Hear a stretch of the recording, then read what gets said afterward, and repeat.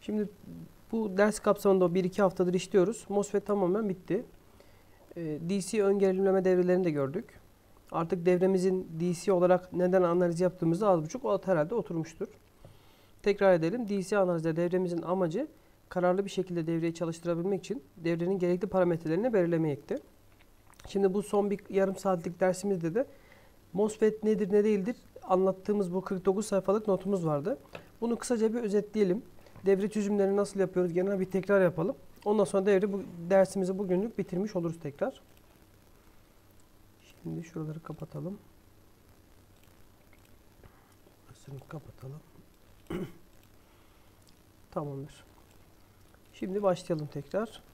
Şimdi MOSFET'imizde iki tür MOSFET vardı. Bunların bir tanesi DMOSFET, E-MOSFET'ti. MOSFET'in açılımı ise Metal Oxide Semiconductor Field Effect Transistor diye geçiyor. Yani bu BCT'ler, JFET'ler, MOSFET'ler hepsi transistör bunların. Transistörden kastımız da yarı iletken malzeme ile oluşturulmuş P ve N katmanlarının bir araya getirilerek yapıldığı elektronik devre elemanları. Bu devre elemanlarını biz kullanarak akımı ve gerilimi akım ve gerilim kontrol ediyoruz. Bu akım ve gerilim kontrol ederken de bir dakika arkadaşlar derse gelen olmuş. Heh, tamam. Yarı iletken devre elemanlarıyla akım ve gerilimi kontrol ederken de DC analiz yaparak bu MOSFET'imizin, devre elemanımızın çalışma noktasını belirlemeye çalışıyoruz. Çalışma noktasını belirledikten sonra da kullanım amaçlarına göre devrelerin ne iş yaptığıyla alakalı AC analize ihtiyaç duyuyoruz. Burada biz yükselteç olarak kullandığımız transistörleri nasıl kullanmamız gerektiği ile alakalı AC analize ihtiyaç duyduk. Bu dersimizin ikinci kapsamında ise AC analizle birlikte giriş sinyalimizde çıkış sinyali arasında nasıl bir bağlantı kurabileceğimiz, kazanç katsayıları nasıl hesaplanır onları görmeye çalışacağız. Şimdi MOSFET'lerin kutuplanması dediğimiz olay DC olarak elektrik verilip e, besleme yapılıp MOSFET'in çalışır halde Q noktasında, sükunet noktasında MOSFET'in kararlı çalışabileceği, akımın sabit olduğu bölgeleri ayarlamak için yapıldığımız bir işlem. Şimdi iki tane MOSFET tipimiz vardı. Birisi DMOSFET, diğeri EMOSFET. Yani kanal oluşturmalı ve kanal ayarlamalı. Bunların birisinde fiziki bir kanal var. Üretim sırasında oluşturuluyor. Diğerinde ise fiziki bir kanal yok. İkisi de kendi içerisinde P ve N kanal olarak iki tane tipi var. Yani toplamda 4 tane trans 4 tane MOSFET var diye düşünebilirsiniz. Yalnız bunlar JFET'lere göre daha e, basit, daha kullanışlı özelliklere sahip. Şimdi genel yapısı bu. S, D ve G 3 tane bacağımız var. Bu bacaklar metal kısımlarla birlikte şuradaki siyah metal e, kalemle işaretlenmiş metal kısımlar, şu kısımlar malzemenin nereye bağlandığını gösteriyor. Şuralar en kanala bağlanmış. Şunun kalınlığını ben biraz daha arttırayım. Bir buçuk tamam. Ee, şuradaki kanal yapısı MOSFET'in hangi kanala ait olduğunu, N kanal mı P kanal mı olduğunu gösteriyor. Buralarda zaten yine aynı kanalla e, aynı harfi ifade ediyor. Dikkat edersek e, burada bir kanal var şu anda. Kanal kanal ayarlamalı MOSFET'imiz D MOSFET. Burada üretim sırasında fiziki bir kanal oluşturulmuş. Burada ne yazan yerlere biz P harfini yerleştirirsek yani buraya bir P katmanı yerleştirirsek bu direkt P kanal olmuş olur. Yukarısı N olduğu için bu iki tane katmanla oluşturulur. Birisi P, birisi N'dir. Kanalımız bizim neyse alt katmanımız da P olur. Tam tersi. O yüzden kanal ifadede kanalda hangi kanal verilmişse, e, hangi tip verilmişse, malzeme verilmişse diğer tarafta da tam tersini kullanırız. Bunun sebebi P ve N artı ve eksi kutup diye düşünün. N'nin içinden elektronlar geçerken P de bunlara etki ediyor ve işte geçişini kolaylaştırmak için bir etki sağlıyor. Toplamda 3 bacak var. Ee, normalde 4 bacak var. Ee, son dediğimiz bu balk bacağı. Bu içeride toprağa bağlıdır ama kullanmıyoruz biz bunu genellikle. Drain var, source ve gate. 3 tane bacağımız var. Esasen bu bacakları hep çözümlerde kullanacaksınız. Bunların Türkçe isimleri akaç, kaynak ve kapı. Ancak eğer siz İngilizce notlardan da çalışacaksanız İngilizceler üstünden hep devam etmeniz daha mantıklı. Ve kısaltmalarımız da İngilizce üzerinden. Tamam. Şimdi şurada da bu tükenmezde karalanmış yerlerde silisyum dioksit malzemeyle kaplanmış. Bir yalıtım malzemesi olarak görev görüyor orası da. Evet devam edelim şimdi.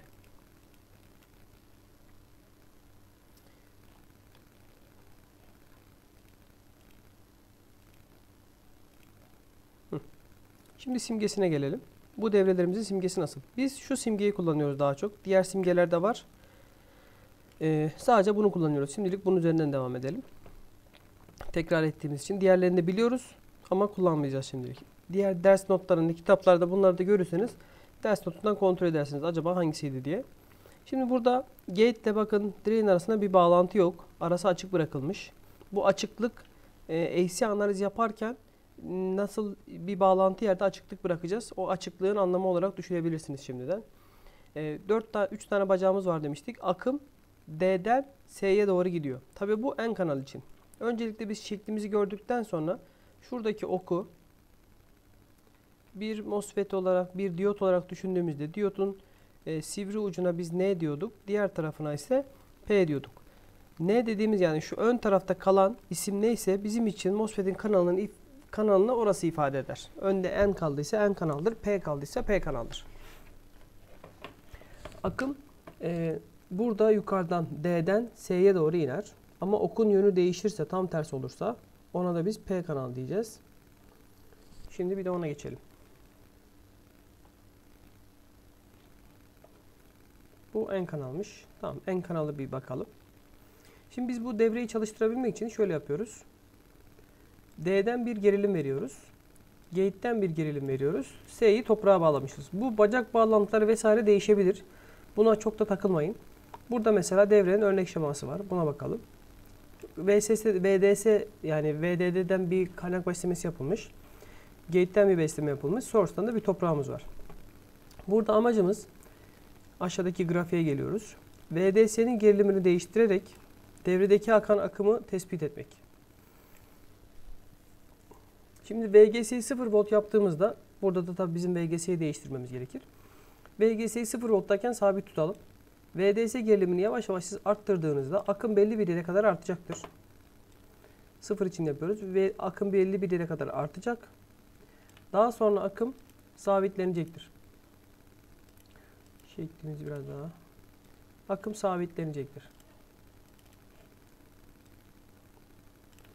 Peki biz VD, VGS gerilimini bu en kanal için azalttığımızda nasıl oluyor? Akım belli bir yere kadar artacak ama bu sefer devreden akan akım da azalmış olacak. Siz e, şu noktaya geldiğimizi düşünelim. Biz şu anda şu Q noktasındayız. Bu Q noktasında bakarsak VDS gerilimimiz sabit. Yaklaşık işte 9 volt diyelim biz buraya. Bu 9 volttayken akan akımımız şurası yaklaşık 6 diyelim. 6 miliamper akım geçiriyor. Siz VDS değerini arttırıp azaltarak MOSFET üstünden geçen akımı arttırıp ya da azaltabilirsiniz. En kanal için bu. Eğer siz VGS değerini arttırdığınızda kanalın genişliğini arttırıyormuşuz gibi düşünüyoruz. Daha fazla akım akmaya başlıyor.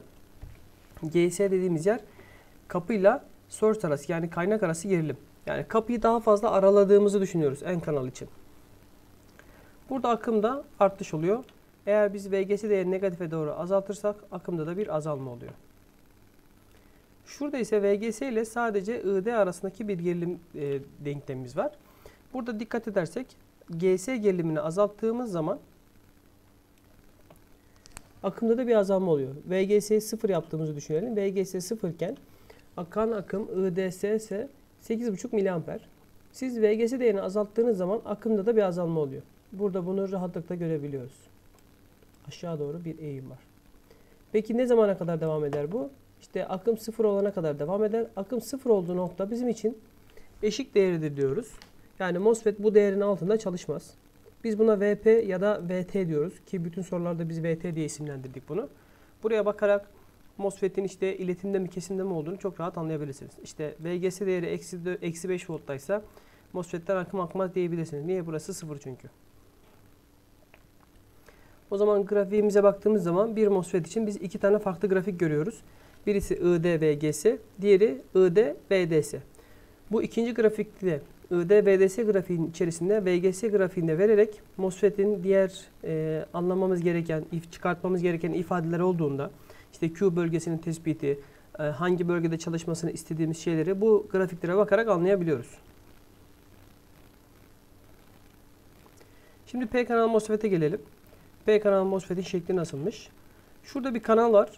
Dikkat ettiğiniz gibi. Burada D MOSFET'ti bu. Okun yönüne bakıyoruz. Okun yönü bizim için kanal tayininde kullandığımız en önemli nokta. Şimdi bu okun yönü nasıl diyorduk? Biz okun sivri kalan kısmında sivri olan kısmına ne diyorduk? Arkasında kalan kısmı ise geniş olan kısmı ise P diyorduk. MOSFET'te şurada bu boşluk bölgede kalan isim bizim için hangi kanal olduğunu ifade eder. Biz buraya P kanal diyebiliriz bu MOSFET için. Şu iki simgeyi de kullanıyorduk ama bunları e, ders kapsamında e, yani formüllerde bir birlik olsun diye tek bir formül kullanacağız. Şimdi bu devrenin çalışmasında ise farklılık şu. Akım D'den S'den D'ye doğru gidiyor. Akımı nasıl belirleyebilirsiniz? Şuradaki S bacağına bağlanan ok hangi yönü gösteriyorsa akım o yöndedir. Karıştırdığınız anda ona bakın. Ve karıştırdığınız anda isimlendirme için baktığımız zaman okun olduğu bacak her zaman S bacağıdır. Ortadaki bacak her zaman gate, diğer boşta kalan ise D'dir. Unutmuyoruz okun olduğu bacak S bacağıdır ve akım okun olduğu yönde akar. Bakın ok bu tarafa doğru, akım da bu tarafa doğru akıyordur. Karıştırabileceğiniz bir şey yok. Eğer mantığını anlarsanız kesinlikle karıştırmazsınız. Zaten 3 tane kural var. Bacakların isimlendirmesi var. Bu bacak isimlendirmesinde okun olduğu yer S'dir. Ortası zaten gate. Boşta kalan da D'dir. Akımın akma yönü de ise okla aynı yönde olacak kesinlikle.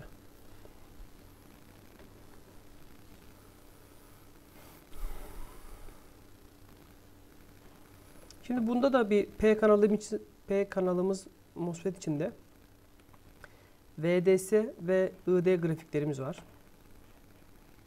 Şimdi birincisi e, devreden akan akım ve kapı yani VGS voltajını inceleyelim. Şimdi VGS voltajı bu sefer sıfırken akan akım maksimum diye düşünün. VGS voltajını biz arttırdığımızda akan akım yavaş yavaş azalmaya başlıyor ve bir noktada sıfıra düşüyor. Bu sıfır noktasından sonra VGS değerini yani işte ne kadar geldi? 4 volta geldi diye düşünelim. Bu volttan sonra siz arttırsanız dahi MOSFET artık kesime gider çalışmaz. Buradan bir akım akmaz. Buradan bakarak MOSFET'in iletimde olması için VGS'nin VP'den küçük olduğunu grafiğe bakarak çıkartabiliyoruz. VDS grafiğine bakalım. VDS ile ID grafiğine. Burada incelediğimiz zaman da e, VGS'leri sabit tutuyoruz.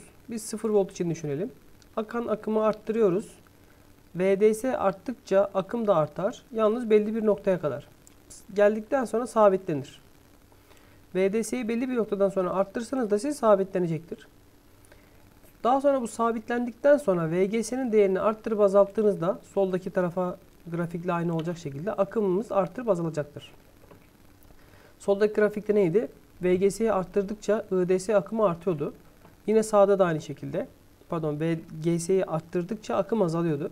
Bakın aşağı doğru VGS'nin değerleri artmış. 1 volt, 2 volt şeklinde. Arttırdıkça biz bunu IDS akımı yavaş yavaş sıfıra doğru yaklaşmış.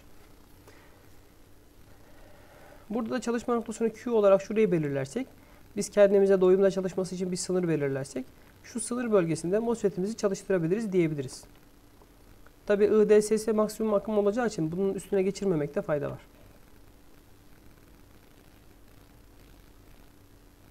Burada iki tane MOSFET var. P kanal MOSFET, N kanal MOSFET, ikisi de D MOSFET. Bakın VGS ve e, VT değerleri verilmiş. Esasen MOSFET'lerimizin çalıştığı bölge şu taralı bölge. Bu bölgede çalışıyor. Tabi sağ taraf bir MOSFET için, sol taraf bir MOSFET için. O zaman biz bunu P ve N MOSFET olarak düşünürsek birisi VP'nin den küçük değerde hatta ikisi de 0 ile VP arasında çalışıyor diye düşünebilirsiniz. 0 ile VP arasında olacak her zaman. Bu zaten artık VP'nin değerini biliyorsanız burası 1 ise demek ki büyük olacak. Eksi 1 ise küçük olacak. Aradaki işareti buna bakarak koyabilirsiniz. Her türlü VP'den küçük bir değere sahip olacak. VT'den daha küçük bir değere sahip olacak. B kanal MOSFET'ler için. Zaten formül kağıdımız vardı. Oradan tekrar bir inceleyebiliriz. Bu grafik bize ne anlatıyor? MOSFET'in çalışabilmesi için her zaman VP yani ya da verdiğimiz soruda VT değerinin küçük olması gerekiyor. VGS küçüktür VT olması gerekir. Şu MOSFET'imizin bir iç yapısı. Şu gate bacağı bağlanmış buraya. Burada source var ve drain var. Şurada esasen bir kanal oluyor. Bu kanal olur ya da olmaz. Olursa demosfet, olmazsa emosfet diyebiliriz. Kanal oluşturmalı diye hatırlarsanız. Burada bazı parametrelerimiz var. L var. W, TOX. Şuradaki TOX burayı ifade ediyor. Şöyle yapalım. TOX buradaki kanalın genişliğini ifade ediyor. Ve işte literatürde verilen değerler bunlar. Daha önce kullanılmış değerler, tasarlanabilen değerler. Biz bu formülleri kullanarak e, MOSFET'in akım denklemlerinde kullanacağız. Unutmayın. Bunların birimleri de çok önemli. Birimlerine göre çünkü soruda neyin verilip verilmediğini anlayabilirsiniz. Burada ne var? Şimdi E kanal MOSFET'e geçtik. E, pardon, E MOSFET kanal oluşturmalı. Bunda fiziken bir kanal yok. Biz uyguladığımız VGS gerilimine göre bir kanal oluşturuyoruz öncelikle. Sonra oluşan bu kanal içerisinden akımlar akmaya başlıyor. Bunda da iki tip var. Birisi N kanal, diğeri P kanal. Yapıya tekrar girmeyeceğim. Sembole girelim.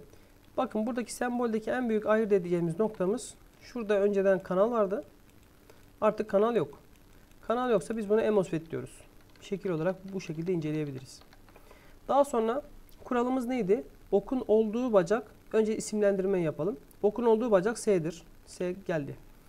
Diğer boşta kalan bacak D'dir. Ortadaki bacak G'dir. Peki akım nereden nereye doğru akıyor? Akım okun yönünde akar. Yani akım ne tarafa doğru akıyor? Aşağı doğru.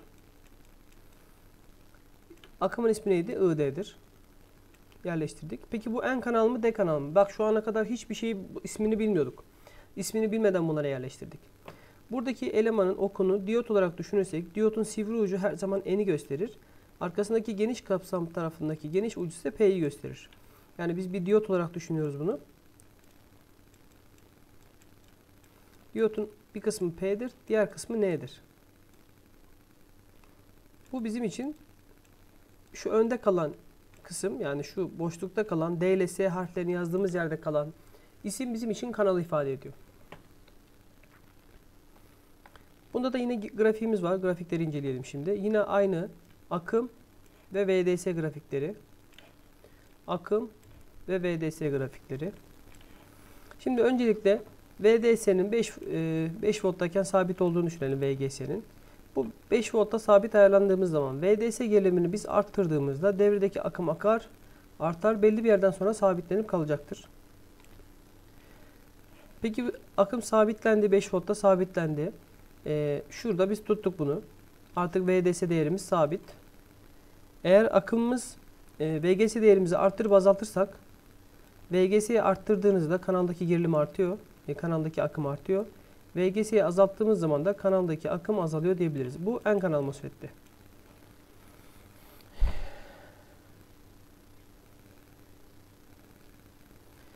Burada ID VGS grafiğine bakarsak bunda bir kanal yoktu öncelikle.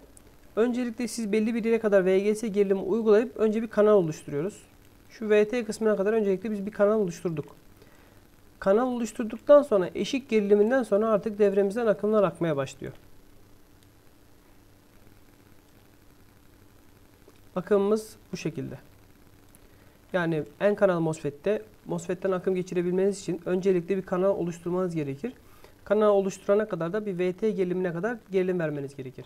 Bu grafiğe bakarak VGS'nin yani MOSFET'imizin çalışması için VGS'nin VT'den büyük olması gerektiğini çıkartabiliriz. Tekrar devam edelim şimdi. Bu P kanaldı. Şey N kanaldı bu. Aynısını P kanalını düşünüyoruz. Okun yönü değişmiş. Okun sivri kısmı neydi? N'i gösterir.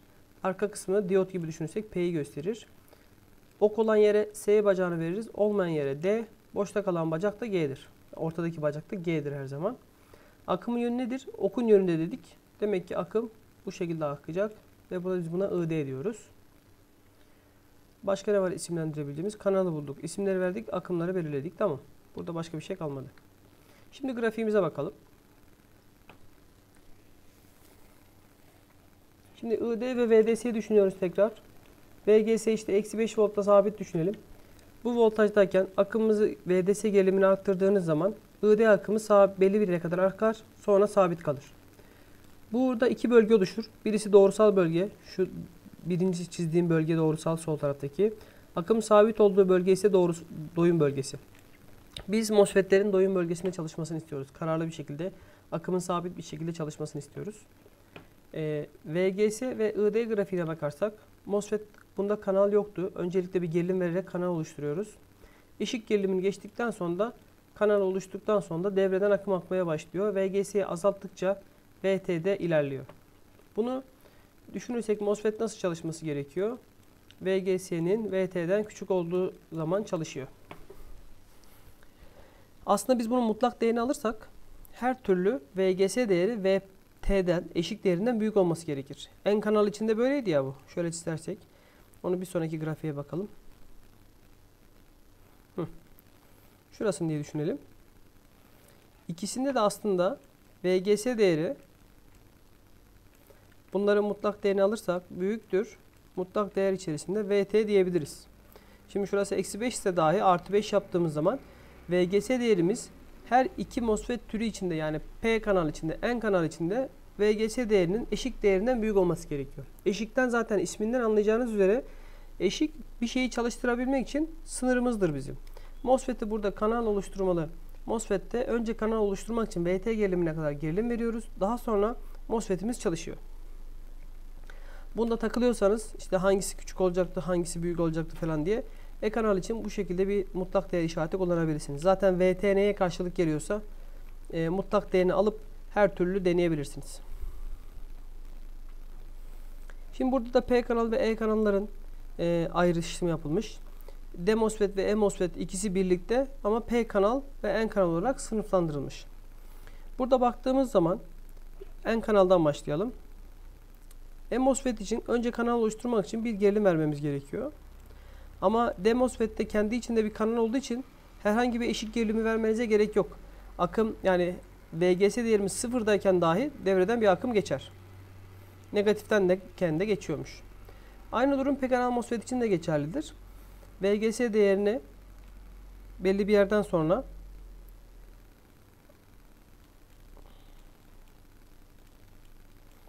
azaltmak gerekiyor. Bunda da mesela burada eşik değerine kadar belli bir yere kadar arttırmak gerekiyor ki yani azaltmak gerekiyor ki bir eşik değerimizi sınırımızı aşalım. Sonra önce kanal oluşturalım. Ondan sonra MOSFET'imizden akım aksın. Ama D MOSFET için bu geçerli değil. E, direkt akım akabilir. Sıfırdayken dahi VGS değerimiz sıfırdayken dahi MOSFET'ten üzerinden belli bir akım akım e, akım akmaktadır.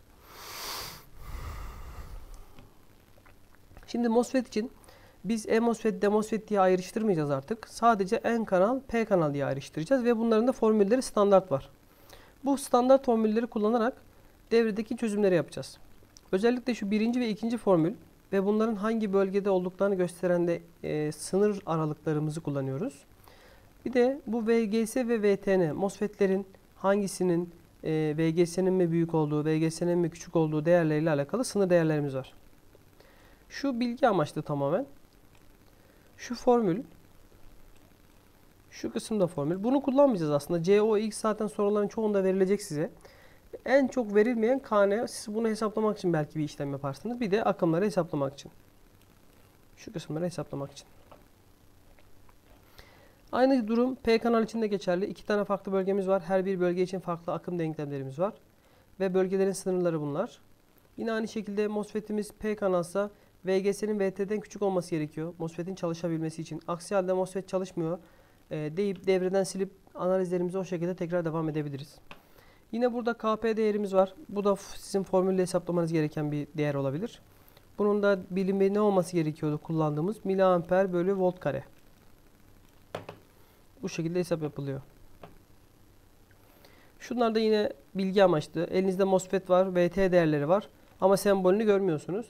E, bu sembolde görmediğiniz için VP değerlerini veya VT değerlerini e, E-MOSFET ya da D-MOSFET olmasına göre ayrıştırabilirsiniz. Sınavda bu formül kağıdını kullanabilirsiniz arkadaşlar. Yani benim bu notu verdiğim notu kullanabilirsiniz. Sıkıntı yok. Formül ezberlemekten çok formülü vereceğiz. Çözüm yöntemleri belli. Ee, sizin oturup sadece süreci takip edebilmeniz ve işlemleri hangi adımla yapacağınızı bilmeniz gerekir. Çoğu kitapta demosfet için bu formüller de veriliyor. Bu formüller genellikle JFT ait formüllerdi. Özellikle şu VGS, VP'nin karesi tarzındaki formüller şu. Ama e, bizdeki formüllerle aynı sonuçları ifade ediyor. Aynı sonuçlar çıkıyor. O yüzden biz standart olması için hem demosfet için hem emosfet için aynı formülleri kullanacağız. Bu da ışık sınırının hesaplanması ile alakalı bir formüldü. Burası sadece bilgi. Buna çok takılmıyoruz. Bilelim ama kullanmayacağız şimdilik. CMOS devremiz vardı. Bu neydi? İki tane MOSFET'in P kanal ve E kanal, N kanal MOSFET'lerin birleştirilmesiyle oluşturulduğu bir e, sensör devresi diye düşünebiliriz bunu. Çok az güç tüketiyordu. Görüntü işlemede özellikle görüntülerin piksel değerlerinin hesaplanması için kameralarda görüntü sensörü olarak kullanılıyordu. Ve çok az düşük bir e, enerji tüketiyordu. Bunu da bildik. Tamam. Şimdi soruların genel nasıl çözülüyor? Bunu da bir özetledikten sonra dersimizi tamamlayabiliriz. Elinizde herhangi bir MOSFET sorusu varsa bu P kanal olur, N kanal olur, E MOSFET, D MOSFET hiçbir şekilde fark etmiyor. İlk yapacağımız şey MOSFET'in doyumda çalıştığını varsaymak, kabul etmek. Doyumda varsaydığımız şey nedir? Şöyle hemen bir grafik çizelim. MOSFET'imizin akımın sabit bölgede, sabit aktığı bölge demektir doyum bölgesi. Biz bu bölgede olduğunu düşünüyoruz. Biz MOSFET'imizin kararlı çalışmasını istiyoruz. Kararlı çalışmasını istediğimiz için e, bunun bu bölgede çalıştığını düşünerek devremizin analizlerini yapıyoruz. Çünkü MOSFET tasarlanmışsa doyumda tasarlanır. E, çok özel spesifik değerlerde de farklı bölgelerde olabilir. Farklı işler yapacaksa eğer devremiz. Burada çalışacak şekilde düşünüyoruz ve her şey doyumdaymış gibi doyum formüllerini kullanarak çözüm yapıyoruz. Şimdi ikinci kağıdımızı da yanına açayım ben. Olmadı.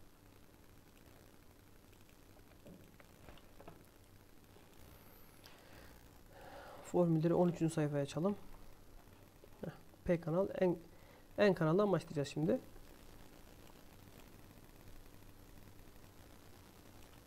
Tamam. Şimdi kuralımız nedir? Elimizde bir MOSFET var. Bunun tipini belirliyorsunuz. Tipine göre P kanal ya da N kanal oluşuna göre formülleri kullanacaksınız. Daha sonra doyumdaymış gibi kabul edip çözmeye başlıyoruz. Doyum formülümüz neydi burada mesela? ID eşittir KN çarpı 2 VGS eksi VT VDS ve VDS'nin karesi var. Bu formülü kullanarak devredeki akımları ve gerilimleri buluyoruz. Gerilimlerden kastımız VS gerilimi, VD gerilimi, daha sonra VG gerilimi. Bu ikisini bulduktan sonra biz doyum formülü şartımızı kontrol ediyoruz. Acaba gerçekten bu MOSFET doyumda mıydı? Doyum şartımız nedir? VG, VDS değerinin VDS sat değerinden, bu VDS sat dediğimiz şey de VGS eksi VT demektir. Bu değerden gerçekten küçük mü? Bu doyum bölgesini kontrol edebilmemiz için VG'yi, VD'yi ve VS voltajlarını tespit etmemiz gerekir. Bunları tespit ettikten sonra da kontrol ediyoruz. Doğru mu? Şartı sağlıyor mu? Şartı sağlıyorsa elde ettiğimiz çözüm değerleri, akım değerleri hepsi doğrudur. Eğer doğru değilse bu akım formülüne yani formül kağıdımızdaki akım formülüne bağlı olarak hesapladığımız sonuçların hepsi yanlıştır diyoruz. Tekrar doğrusal bölgedeymiş gibi çözümümüzü yapmaya başlıyoruz. Yani MOSFET artık şu ikinci bölgede akımın sürekli kararsız bir şekilde aktığı bölgededir diyoruz. Bu şekilde de bu doğrusal bölge formülünü kullanarak akımları, gerilimleri bulmaya çalışıyoruz. Daha sonra tabi bulduktan sonra da gerçekten doğrusal doyum e, doğrusal bölgede mi diye kontrol ediyoruz. Şimdi yanlış oldu arkadaşlar. Doyum bölgesinin formülü aşağıdaymış. Doğrusal bölgenin formülü yukarıdaymış. Biz doyumdaymışız gibi çözeceğiz. Doyum şartını kontrol edeceğiz aşağıdaki denklemi. Eğer doyumdaysa problem yok soru çözümü doğrudur. Ama doyumda değilse doğrusal bölgedeymiş gibi doğrusal bölgenin akım formülünü kullanarak gerilimleri, akımları hesaplayabiliriz. Tabi bulduktan sonra da bölgeyi kontrol ediyoruz. Gerçekten bizim düşündüğümüz gibi varsaydığımız bölgede mi değil mi diye bir kontrol amaçlı işlemimizi yaptıktan sonra devreyi tamamlıyoruz. Bu P kanal için de geçerli. Ee, Tabi burada çözüm yaparken VGS ile alakalı kökler çıkıyor. Önemli noktalardan bir tanesi kök bulma. Kökün bulunduğu sorulardan bir tanesini açalım bir. Heh. Şimdi şu soruda mesela iki tane kök bulunmuş. Bu bulunan VGS köklerinin hangisi olması gerektiğini tespit etmek için formül kağıdına bakıyoruz. Burada VGS'nin bir tanesi 3 çıkmış, diğeri 1 çıkmış. N kanal MOSFET için diyor ki VGS VT'den büyük olması gerekir. O yüzden bulduğumuz kök bu denklemi sağlaması gerekir. Soruda VT kaç verilmiş? 2 volt. O zaman bulduğumuz kök 2'den büyük olması gerekiyor. 3 var, 1 var. O zaman 3'ü alıyoruz biz. Kök seçimi tamamen formül kağıdındaki VGS'nin VT'den büyük olma şartını sağlayacak şekilde oluyor N kanal için. P kanal için tam tersi. Bir de kök bulduğumuzda VDS ile alakalı bir kök bulabiliriz. Çünkü doğrusal bölgedeyken e, VDS'nin karesi var burada. Buradan da bir köklü bir ifade çıkartıp DS'nin kökünü bulabiliriz. iki farklı kök. Burada elde ettiğimiz kökü ise doyum bölgesi e, bu doğrusal bölgedeki formüle yerine koyup bu formülü sağlayacak şekilde bir kök tercih ediyoruz. Bakalım başka neler var anlatabileceğimiz.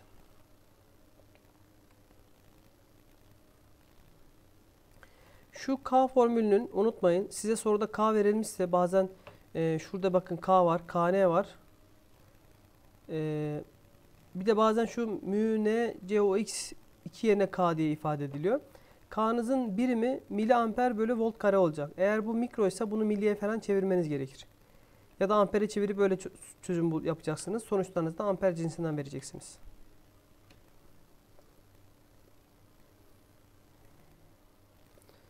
Bakalım başka ne var? Çok sık kullanacağımız özelliklerden bir tanesi akımın akmaya başladığı, bittiği noktaları biliyorsak, aradaki direnci veya akımı biliyorsak burada bunlardan biri bilinmediğinde herhangi birini hesaplayabiliriz. Buradaki kural şu. Devreden akan akım, iki nokta arasından akan akım eşittir. Akımın başladığı nokta vs eksi bittiği nokta bölü aradaki direnç. Burada artık hangi parametreyi bilmiyorsanız bunu çekebilirsiniz. Bir devre analizi çözüm yöntemlerinden bir tanesi. Diğer bir çözüm yöntemi Kirchhoff gerilim yasası. Giren akımlar çıkan akımlara eşittir. Burada işte ID akımları, IR'ler belli bir noktalara, düğüm noktalarına bazen girip çıkıyorlar. Bu denklemi, bu yöntemi kullanarak da birçok hesaplama yapabilirsiniz.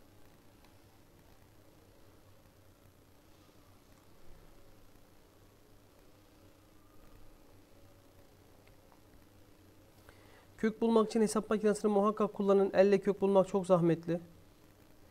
Yoksa uğraşırsınız. Daha önce size bir not paylaşmıştım. O nota bakalım burada mı? O notta şöyle bir şey vardı. Kökleri elle nasıl bulabilirsiniz? Onunla alakalı denklemleri paylaşmıştım. Olur da ihtiyacınız olursa ona bir bakın isterseniz. Şu pdf'i açayım ben buraya. El notu diye paylaşmıştım. Heh. Herhangi bir denklemin çözümü. ax kare artı bx artı c. Burada x1 ve x2 köklerini işte betayı, diskriminantı, deltasını alıp bunların çözümlerini yapabiliyorsunuz. Hesap makinesi çözmüyorsa bunu muhakkak öğrenin. Bu da çok işinize yarayacaktır sizin. Hesap yaparken b kare eksi 4 ac'yi delta'yı alıyoruz. Bunun kare kökünü alıp eksi b ile işte 2a ile orantıladığımız zaman e, x1 ve x2 köklerimiz çıkıyor. Bu formül kağıdında dokümanlar kısmına ekledim. MOSFET konu anlatım tekrar tarzında herhalde yazdım ya da konu anlatım ve soru diye yazmışız. Burada 3. sayfada bunu da kullanarak denklemlerinizi çözebilirsiniz.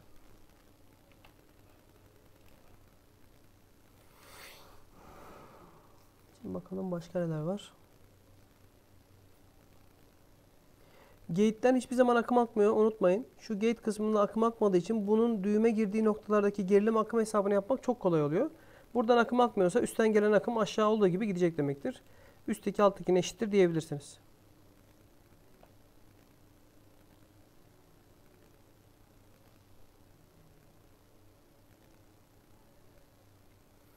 Bazı MOSFET'ler birbirine eş verilir. Buradaki olduğu gibi. Eş verildiği zaman bunlarla alakalı bulduğunuz değerler diğerleri için de eşit olabilir.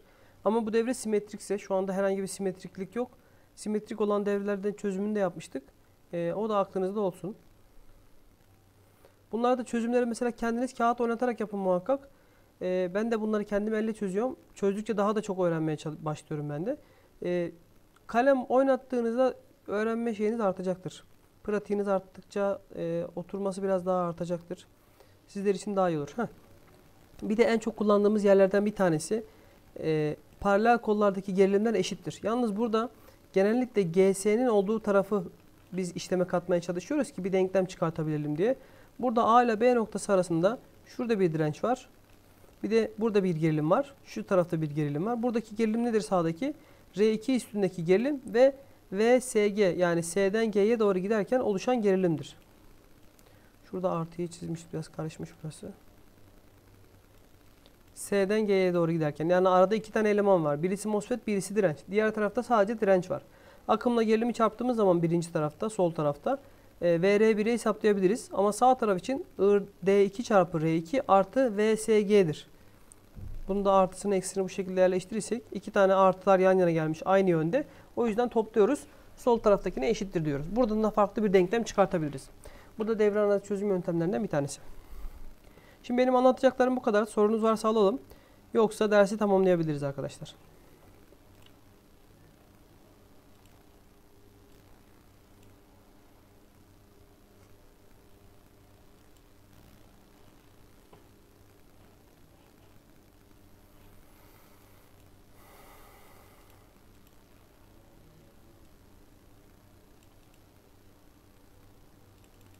Ya Ayberk şimdi yazdığını yeni gördüm de. PDF'nin 5. sayfası. Bu burada 5 bu var. Hangi PDF'i kastettin? Mikrofonunu aç istersen sesini duyalım hem daha hızlı anlatmış olursun.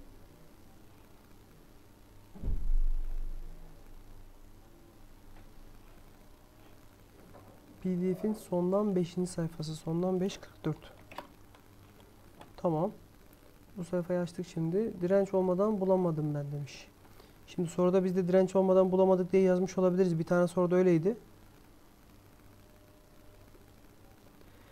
Eksik eksik veri var demişiz. Ondan dolayı çözüm yapılamadı diye biz de yazmışız buraya. Ee, M2 için çözüm yapamadık demişiz. Ödev soruları.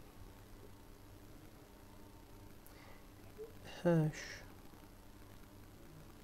Buradaki sorum, şu andaki açtığım ekrandaki soru mu? Aşağıdan sayfa numarasını söylersen 47, 48 vesaire diye daha iyi olur.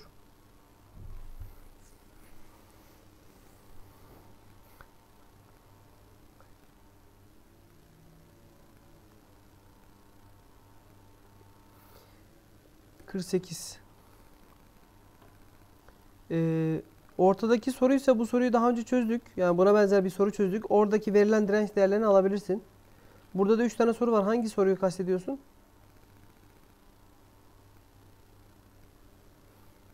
Ortadaki tamam bu sorunun daha önce çözülmüş versiyonu var defterde.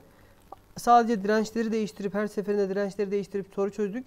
Orada verilen R1, R2'yi kullanabilirsin. Zaten R3'ü sormuş. R1'i kullanabilirsin orada istiyorsan. Ama mantığını anladıktan sonra belli bir yere kadar gidip direnç değerini bilmediğin için takılıyorsan sıkıntı yok. O şekilde de bırakabilirsin. Çözdün demektir o senin için. Rica ederim ne demek. Başka sorunuz yoksa arkadaşlar dersi bitirebiliriz. Ben video kaydını aldım. Şimdi YouTube'a da ekleyeceğim birazdan. Ee, oradan da takip edebilirsiniz. ihtiyaç olursa izleyebilirsiniz. Muhtemelen bugünkü ders sistemde olmayacak artık. Ya da bir 5 dakikası falan varsa ancak gözükür. Onun dışında göremeyiz gibi geliyor.